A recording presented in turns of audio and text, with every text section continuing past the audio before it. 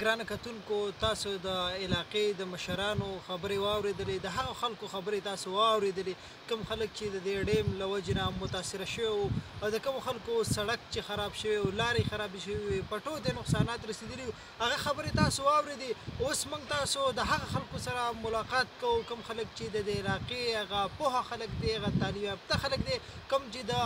اول ورځ نه والا تر د اخیره پورې په دې ډیم جوړېدو باندې ډېر کړه نظر ساتي هغو د دې کتنه کړې ده ټول عمر هغو راغلي دي بار بار دلته کې او بل دا خلک چې دی دا د دې علاقې د لوبو کې هم حصه اخلي د لوبو سره تعلق ساتي لوبغاړي دي هغه راسره دلته موجود دی او د هغو نظر تاسو ته در رسول زمونږ فرض جوړیږي چې د هغو نه رای واخلو جی زمونږ سره یو زلمی ولاړ دی دنه په تپوس کو ستاسو نوم څه دی جی جی زما نوم زاهد دی او زه دلته د نږدې د ریډیم سره چې کوم نږدې کلی دی بانډې سره زما تعلق دی او ډیره مننه عابد صاحب چې تاسو مونږ مقرر کړ دا ګو راته ووایئ چې د ډیم نه باندې تاسو ځایونه هم د مخکې راسئ ستاسو ډېر نظر ساتئ بار بار راځئ څه خیال لرې د ډیم په باره کې ستا څه خیالات دي؟ عابد صیب د ټولو نه به مخکې زه یو خبره وکړم د تراب صیب یو شعر دی چې سل سره شته دی خو د سلو سرو سر نشته دی دا خاوره زر لري ملګرو خو زرګر نشته دی د بدقسمتۍ د وجې نه دا یو میګا پراجک و او زه به ډیر افسوس سره دا خبره وکم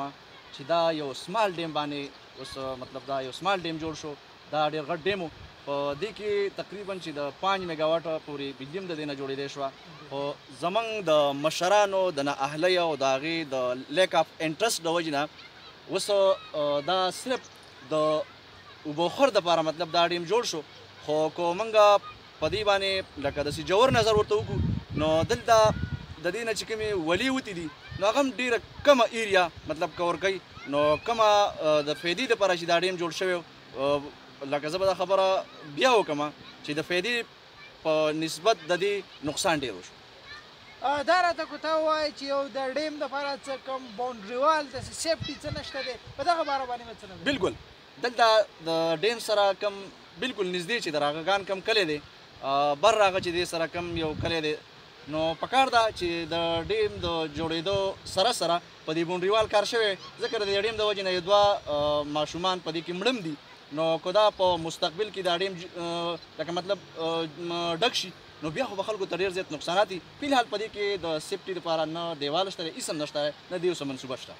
په اخیر کې که راته دا ووایې چې د علاقې د شاه زلمو لپاره واحدنی د لوبو میدان چې دی هغه هم د ډیم نظر کیدو والا دی؟ بلکل دلته چې کوم ګراونډ دی په دې کې ولیبال، فوټبال او کرکټ دې سره به هم کیدو او بله خبره دا ده چې دلته دا کوم ګراونډ چې اوس ضایع کیږي نو د راغګان د چرګوړۍ او دغه شانې د ډیریو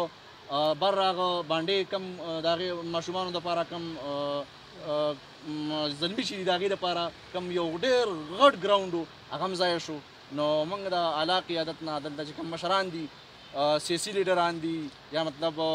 نور د علاقې په سطح کوم مشران دي د هغې نه موږ دا فیل کوو چې د کسانو ته د ماشومانو ته د زلمو ته د سپورټس لپاره یو داسې ګراونډ ورکړي نو هغې به چې کوم دی نو هغې په هغه شي فلحال دا ګراونډ چې دی دا ځای شو ثینک یو